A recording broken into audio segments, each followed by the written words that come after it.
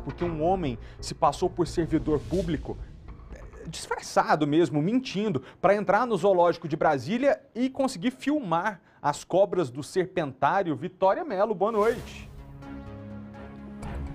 Oi, Felipe. Pois é, e ele não estava sozinho, viu? Boa noite a você, boa noite a todos. Luiz Gustavo Tanuri estava com um amigo canadense e mesmo o zoológico fechado, ele conseguiu no site o contato da responsável do zoo. E aí entrou em contato com ela, se passando por diretor da Secretaria de Desenvolvimento Econômico.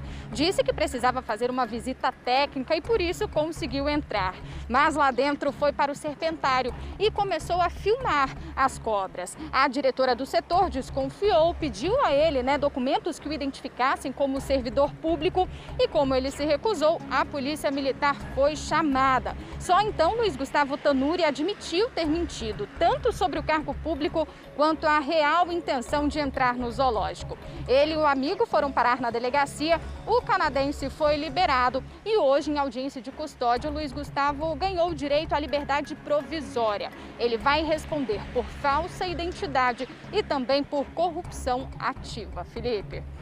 Eu fico aqui tentando entender para quê, né? Porque a cobra tem vídeo dela na internet. Aí comete crime para entrar e filmar os bichos. Vai entender. Obrigado, Vitória, pelas informações.